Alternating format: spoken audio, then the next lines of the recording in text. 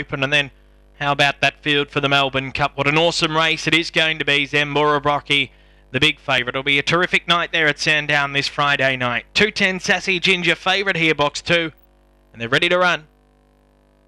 And away they go. Sassy Ginger just about a length slow and away fast. Mystic Quality. Sassy Ginger with good acceleration. Quickly got to second and third. Tiger Ants. Fourth Tron on the outside.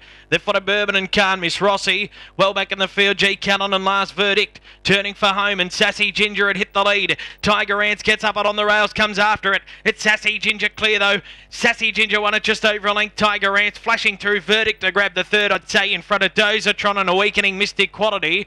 They're followed home then by Bourbon and Khan, Miss Rossi. And back at the end of the field is G. Callan, 22.61 the time.